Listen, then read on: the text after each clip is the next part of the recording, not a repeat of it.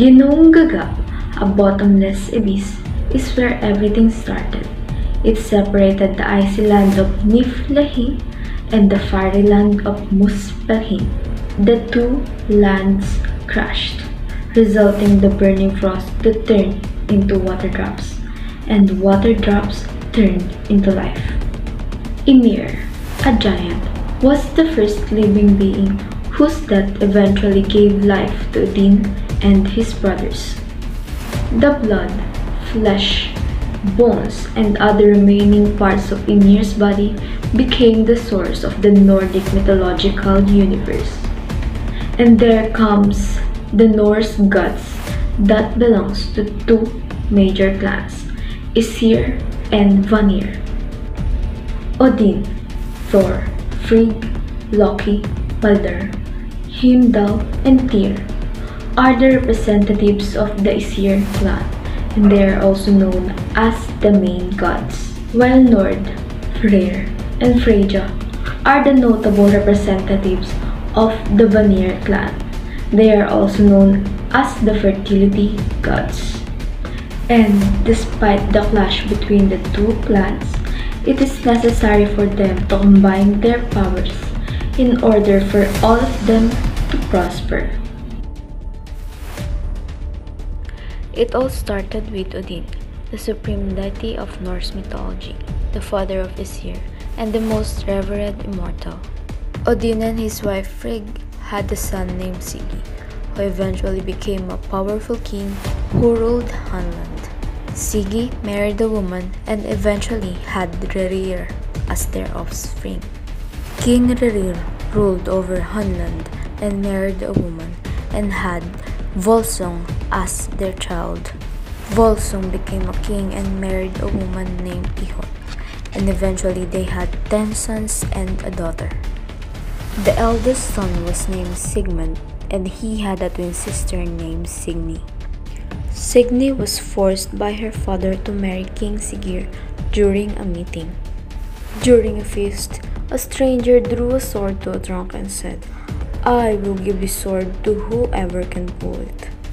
Many noblemen tried to pull the sword, including King Siggeir, but Sigmund was the only one who successfully pulled it.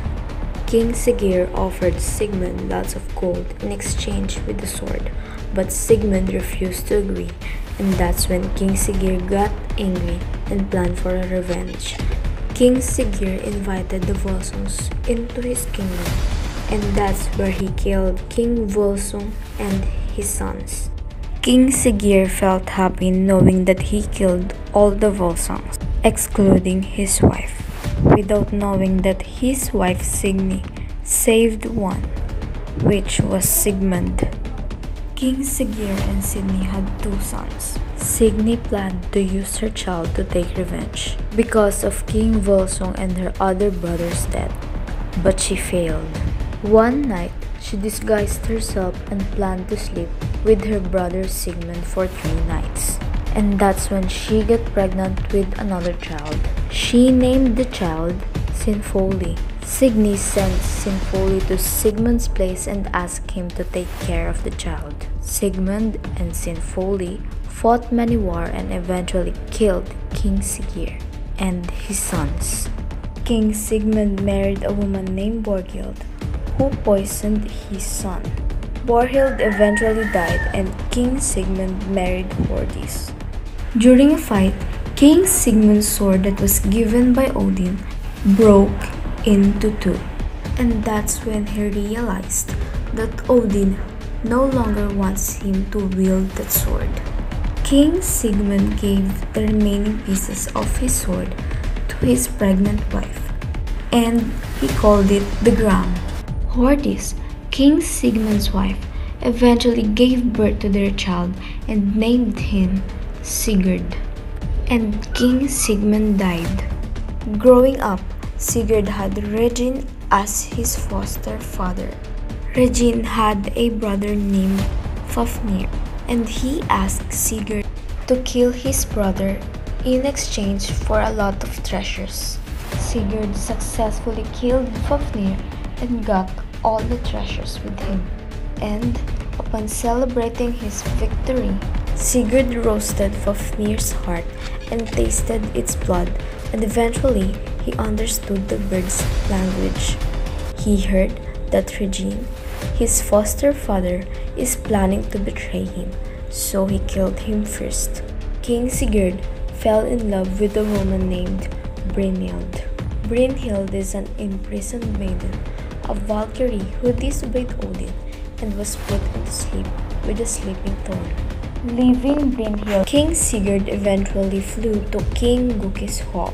Grimhild, King Guki's wife, knew that Sigurd is in love with Brynhild and that he is an honorable and well-respected man. So she believed that it is much better if her daughter Gudrun will marry Sigurd instead. So she prepared a magic drink for King Sigurd that made him forget everything about Brynhild.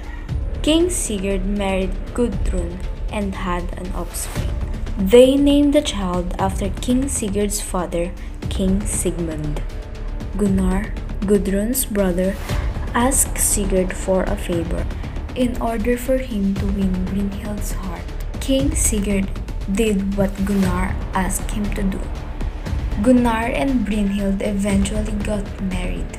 But when Brynhild knew about King Sigurd and Gunnar's plan, she got angry at her husband and his ex-lover King Sigurd.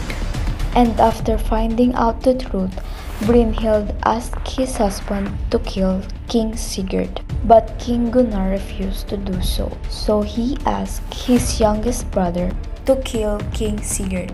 And in that moment, King Sigurd's journey and the Volsunga saga, or the saga of the Volsungs, finally ended.